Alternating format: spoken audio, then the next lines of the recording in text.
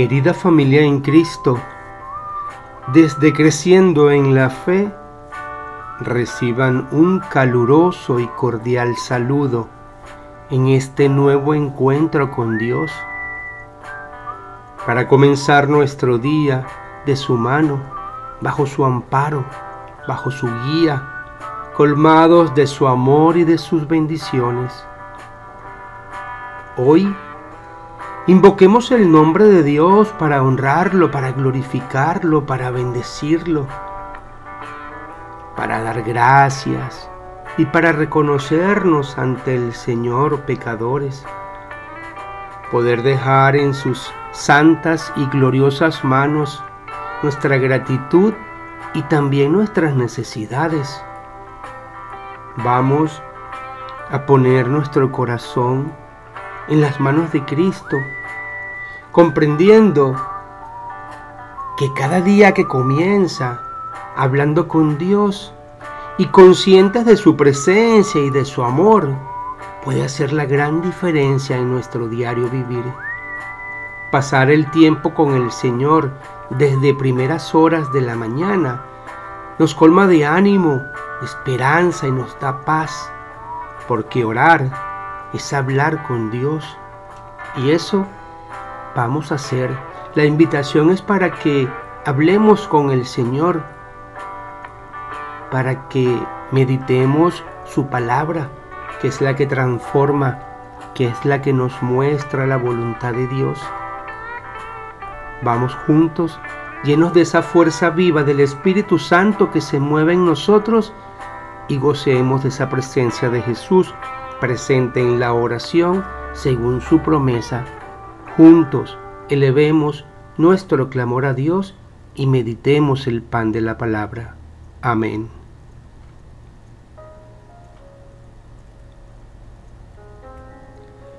Queridos hermanos, en este nuevo día vamos a escuchar qué mensaje nos tiene hoy el Señor. Para eso vamos a leer unos pasajes bíblicos de la carta de San Pablo a los filipenses y podamos abrir nuestro corazón para darle cabida, que podamos comprender qué me quiere decir hoy el Señor y que también podamos entender por qué lo dice y para qué lo dice porque nosotros debemos escuchar y atender el llamado de Dios. Escuchemos. El primer pasaje, como dije, es de la carta de San Pablo a los filipenses en el capítulo 1, versículos del 27 al 30. Escuchemos. Solamente esto. Procuren que su manera de vivir esté de acuerdo con el Evangelio de Cristo. Así, lo mismo si voy a verlos que si no voy, quiero recibir noticias de que ustedes siguen firmes y muy unidos, luchando todos juntos por la fe del Evangelio, sin dejarse asustar en nada por sus enemigos. Esto es una clara señal de que ellos van a la destrucción y al mismo tiempo es señal de la salvación de ustedes. Y esto procede de Dios, pues por causa de Cristo, ustedes no solo tienen el privilegio de creer en Él, sino también de sufrir por Él. Ustedes y yo estamos en la misma lucha ya vieron antes cómo luché y ahora tienen noticias de cómo sigo luchando. Y esta es palabra de Dios. Te alabamos, Señor. Y antes de que meditemos el mensaje del Señor, vamos a continuar con este otro pasaje también de la carta del San Pablo a los, a los filipenses, ahora en el capítulo 2, versículos del 12 al 18. Escuchemos. Por tanto, mis queridos hermanos, así como ustedes me han obedecido siempre, y no solo cuando he estado entre ustedes. Obedézcanme más ahora que estoy lejos. Hagan efectiva su propia salvación con profunda reverencia, pues Dios, según su bondadosa determinación, es quien hace nacer en ustedes los buenos deseos y quien los ayuda a llevarlos a cabo. Háganlo todo sin murmuraciones ni discusiones, para que nadie encuentre en ustedes culpa ni falta alguna, y sean hijos de Dios sin mancha en medio de esta gente mala y perversa. Entre ellos brillan ustedes como estrellas en el mundo manteniendo firme el mensaje de vida. Así, cuando venga Cristo, yo podré sentirme orgulloso de ustedes, sabiendo que no he recorrido ni trabajado en vano. Y aunque mi propia vida sea sacrificada para completar la ofrenda que ustedes hacen a Dios por su fe, yo me alegro y comparto esa alegría con ustedes Alégrense ustedes también y tomen parte en mi alegría. Palabra de Dios. Te alabamos, Señor. Y para comprender un poco más en detalle el mensaje de San Pablo a los filipenses, escuchemos del capítulo 3, versículos del 12 al 15. No quiero decir que ya lo haya conseguido todo, ni que ya sea perfecto, pero sigo adelante con la esperanza de alcanzarlo, puesto que Cristo Jesús me alcanzó primero. Hermanos, no digo que yo mismo ya lo haya alcanzado. Lo que sí hago es olvidarme de lo que queda atrás y esforzarme por alcanzar lo que está delante para llegar a la meta y ganar el premio celestial que Dios nos llama a recibir por medio de Cristo Jesús. Todos los que ya poseemos una fe madura, debemos pensar de esta manera. Si en alguna cosa ustedes piensan de otro modo, Dios les hará ver esto también. Pero, eso sí, debemos vivir de acuerdo con lo que ya hemos alcanzado. Palabra de Dios. Te alabamos, Señor. Querida familia en Cristo, dichosos los que somos llamados, porque el Señor hará todo lo que esté en su divina voluntad por rescatarnos y ayudarnos a llegar a ese cielo a esa nueva vida, al reino celestial donde hemos sido invitados. Y como hemos escuchado de San Pablo, es bueno que recordemos esto. San Pablo recuérdense que era un perseguidor de cristiano, al que el Señor llamó, lo convirtió y se entregó a Dios y fue utilizado por nuestro Dios para entonces llevar el mensaje a aquellos pueblos que recién conocían a Jesús. Y han pasado dos mil años y esos mensajes de Dios a través de Pablo siguen siendo para nosotros vigentes. Fíjense que lo primero que dice San Pablo en lo que estamos meditando, vivir de acuerdo con el Evangelio, invita a él Y dice, procuren que su manera de vivir esté de acuerdo con el Evangelio de Cristo.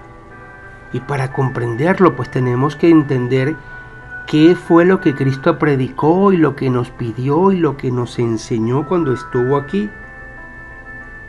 Y aclara, lo mismo que si voy o que si no voy, quiero recibir noticias de que ustedes siguen firmes y muy unidos luchando todos juntos por la fe del Evangelio. El Evangelio habla de la vida de Jesús, de sus mensajes, y expresa el Señor y a lo que vino a la tierra es a revelarnos los mensajes de Dios nuestro Padre, el perdón que nos da, la vida nueva que nos ofrece, la manera como quiera Dios que vivamos, no a nuestra manera, no saciando los caprichos y los antojos de la carne, no haciendo el mal, no envidiando, no criticando, todo lo contrario, que amemos, que ayudemos a nuestros hermanos, que seamos condescendientes con los pobres y con los que sufren, que nos propongamos vivir nuestra vida como la vive Cristo, como nos enseñó el Evangelio, como nos enseña el Evangelio, como lo hizo Jesús cuando estuvo en medio de nosotros. Dice, no se dejen asustar por sus enemigos. Esto es una clara señal de que ellos van a la destrucción y al mismo tiempo es señal de la salvación de ustedes. Nosotros quizás no podemos entender por qué muchas veces el mundo y los que nos rodean nos agreden, nos humillan, nos abusan, nos desprecian, nos critican y desean el mal. Bien San Pablo les está diciendo. Esa es una clara señal de que ellos van a la destrucción y al mismo tiempo señal de la salvación nuestra. Y sigue y dice, pues por causa de Cristo ustedes no solo tienen el privilegio de creer en Él, sino también de sufrir por Él. Y no olvidemos que nuestro Señor Jesús nos advirtió, quien no esté dispuesto a tomar su cruz y seguirme, no es digno de mí. María la Virgen, la escogida por el Padre, sufrió Cualquiera diría, oye, al lado de Dios María va a ser la reina privilegiada de la vida. Es reina en el cielo, después del dolor que vivió, sin reprochar, sin quejarse, sin preguntar por qué. Que eso sea para nosotros un ejemplo de fe. Y sigue San Pablo cuando dice hacer efectiva la salvación y es cuando nosotros en creciendo la fe decimos, la meta es el cielo. Eso vino el Señor. Recordemos que después del pecado original, los seres humanos comenzaron a morir. Nos enfermamos, vivimos en discordias, vivimos en la maldad por la acechanza del diablo y de sus demonios. Habíamos sido hechos, creados para ser eternos aquí en el paraíso terrenal desobedecimos y la desgracia vino a la humanidad. ¿Y a qué vino Jesús? Por voluntad del Padre, que es el que nos ha dado el perdón. Oigan, mi Padre los perdona. Tienen una vida nueva prometida, no aquí en la tierra, allá en el cielo donde vivimos, donde está el reino de mi Padre. Que hoy lo podamos creer, porque esta vida que tenemos no la pedimos y aquí estamos y la perdimos por desobedientes. No perdamos esa nueva por incredulidad. Porque el diablo está para que siembre soberbia en nosotros, siembre la discordia con Dios y perdamos ese mundo nuevo y eterno. Y dice San Pablo a los filipenses, mis queridos hermanos, así como ustedes me han obedecido siempre, y no solo cuando he estado entre ustedes. Obedézcanme más ahora que estoy lejos. Hagan efectiva su propia salvación con profunda reverencia, pues Dios, según su bondadosa determinación, es quien hace nacer en ustedes los buenos deseos y quien los ayuda a llevarlos a cabo. En todo está Dios. Cuando nuestro corazón y nuestra mente lo mantenemos ardiente en nosotros y presente en cada instante de nuestra vida.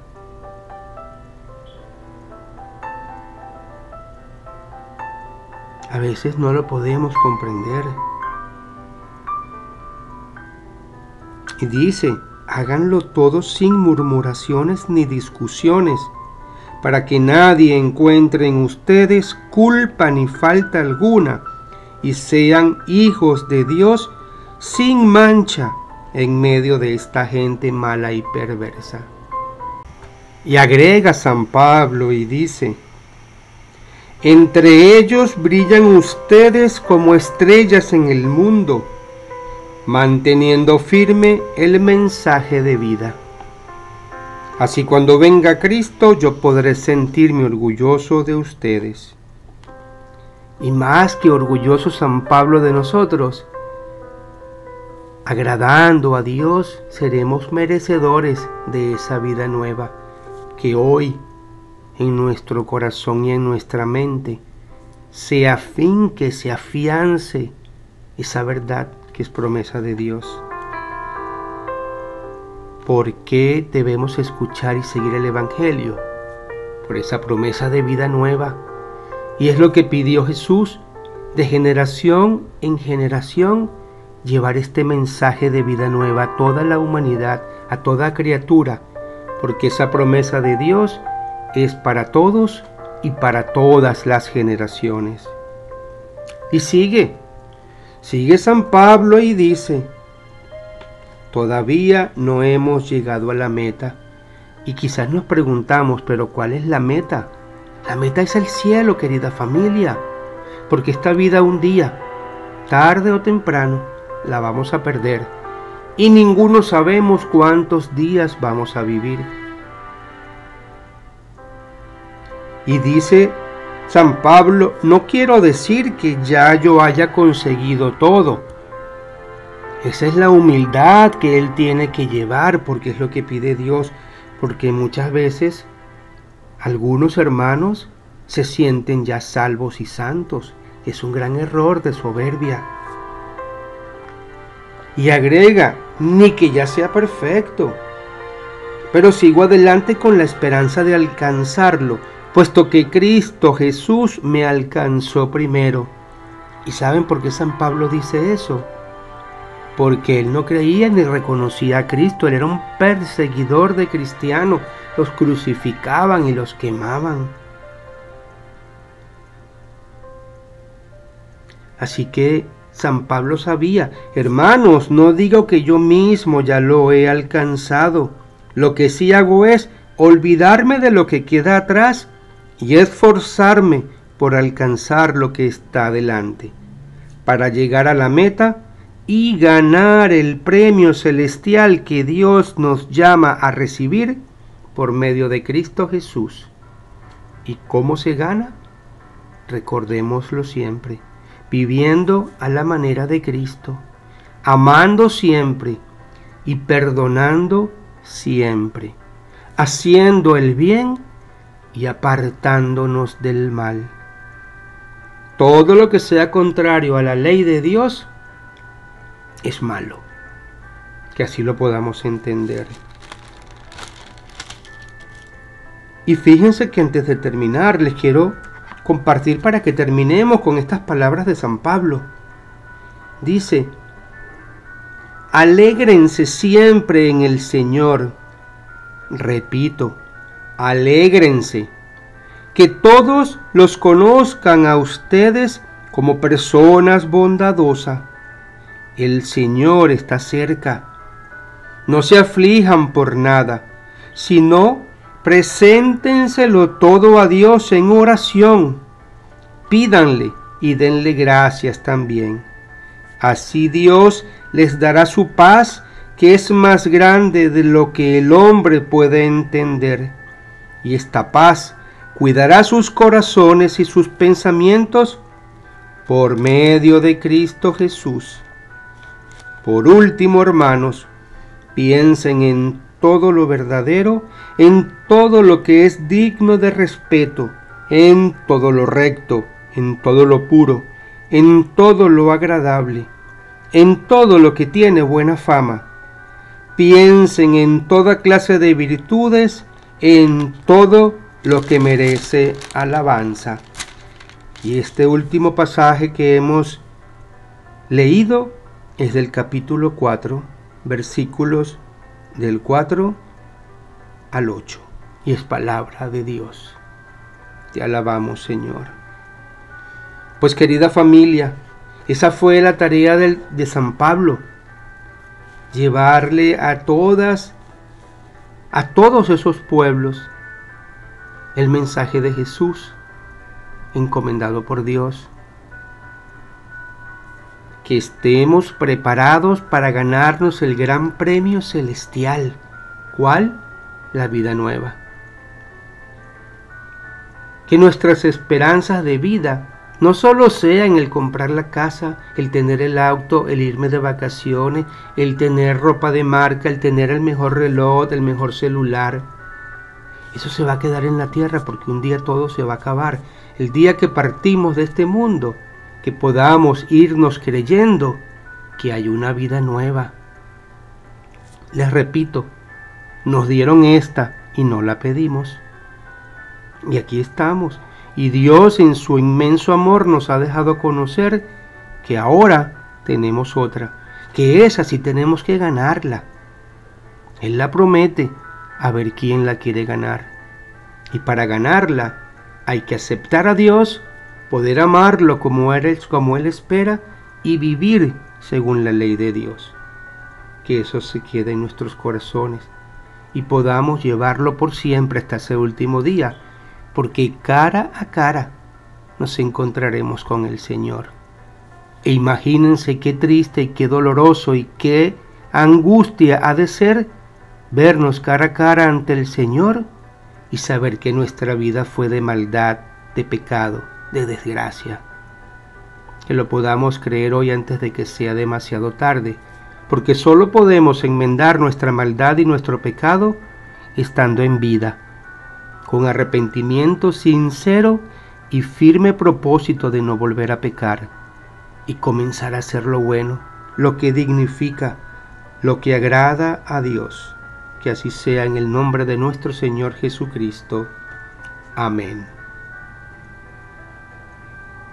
Y ahora mis queridos hermanos, como dice San Pablo, y nuestras necesidades pongámosla ante Dios a través de la oración y siempre demos gracias. Vamos juntos, como pueblo de Dios, hijos de nuestro amado Rey, a elevar este clamor, pidiendo a nuestro Señor que en su insondable misericordia se apiada de nosotros.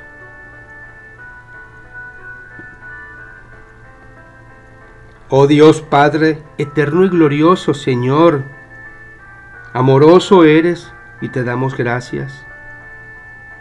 En este hermoso día que comenzamos, ante todo queremos darte gracias por ese alimento de la palabra, llena de tanta sabiduría en nuestro favor. Pedirte que seas tú siempre a nuestro lado, fortaleciéndonos, colmándonos de fe, impregnándonos de sabiduría para poder alcanzar cada uno de nuestros objetivos, entre ellos tu gloria, Señor, la vida nueva. Queremos pedirte perdón por todo lo que no hemos sabido hacer Queremos, Señor, ponerte toda nuestra maldad y nuestra falta de voluntad para agradarte y seguirte. Ayúdanos tú que todo lo puedes, que podamos ser llamados por ti así como llamaste a Saulo para convertirlo en San Pablo. Amado Señor, te pido que seas tú quien nos cuide, que nos proteja a lo largo de este caminar que protejas a nuestras familias. Gracias Padre. Gracias por todo lo que nos has dado a lo largo de la vida y gracias por todo lo que aún estás por darnos. Gracias por cuidarnos esta noche que acaba de terminar. Gracias por la salud que nos concedes. Gracias por la familia que nos das. Gracias por las pruebas que nos acercan a ti. Gracias porque tú has sabido consolarnos en esos momentos de dolor y de angustia. Señor Dios amado, Gracias porque hoy puedo abrir mis ojos y ver la luz del sol. Puedo ver el azul del cielo, puedo escuchar las aves del campo y puedo sentir la suave caricia de la brisa, Señor, ver el verde de las hojas de los árboles y sus frutos. Gracias porque puedo escuchar tu voz y puedo escuchar la voz de aquellos que amo. Sopla un soplo de tu aliento sobre nosotros y devuélvenos, Señor, esa paz que por los golpes de la vida y por el cansancio del camino comenzamos a perder. Gracias porque nos permites tener nuestro pan diario y un lugar donde vivir. Te agradezco, Señor, te agradezco por estos momentos de oración, por mi empleo y porque tú guías nuestros pasos día tras día. Amado Señor Dios, grande y bondadoso eres, tu misericordia es insondable y en ella nos refugiamos, a ella recurrimos. Hoy tú conoces nuestro plan, tú conoces nuestros sueños, tú conoces nuestras responsabilidades. Ven, ven y danos de tu amor. Ven y danos, Señor, de esa fuerza viva. Hoy quiero darte gracias por cada una de las personas que a mi lado comparten mi vivir. Y pedirte por cada una de las personas que se sienten solas, que sienten tristeza, que están atravesando momentos difíciles, que están persiguiendo un propósito para su bien y para tu gloria. Derrama, Señor, tu poder, porque creemos en tu palabra. Tú nos has dicho, pedid y se os dará, tocad y se os abrirá. Padre, cuántas puertas podemos ver cerradas. Ayúdanos a abrir la que más nos conviene. Y ayúdanos a retomar el camino. Que todas esas personas en dolor y en sufrimiento puedan encontrarte en su corazón, puedan ver la inmensidad de tu amor y gozarse en tu favor. Gracias por los amigos. Y gracias también por aquellos que nos desprecian, porque nos incitan a pedirte por su conversión y por su arrepentimiento. Por favor, Señor, te ruego que cuides y protejas a todos los que amo y a todos los que me desprecian. Que tu mano poderosa esté sobre cada uno de nosotros en este día y en cada nuevo día guardándonos de todo mal y librándonos de las tentaciones. Amado Señor Dios, gracias por haber cuidado de mi vida hasta hoy y gracias por todo lo que me has dado hasta hoy. Permíteme poder amarte cada día un poco más. Te alabo y te agradezco por tu poder protector sobre cada uno de nosotros. Te alabo y te bendigo, Señor, por tus promesas y te doy gracias. Ahora, mi Dios, toma nuestra mano y permítenos caminar junto a ti y al lado de nuestra Santísima Madre la Virgen María, la que supo cuidar muy bien de ti y agradar a Dios, para que sea ella, junto a ti, que nos conduzcan por los caminos de luz y de paz Allana, Señor, nuestros senderos. Ilumina el camino por donde debemos transitar y aparta los obstáculos. Ayúdanos a verlos a tiempo para que no seamos víctimas de la maldad del diablo y de sus demonios. Confío, Señor, en tu poder. Confío en que todo lo puedes y me entrego del todo a ti. Y por todo lo que hagas en mí, te doy gracias seas por siempre bendito y alabado. Gracias Señor por este momento de oración. Gracias por escucharme.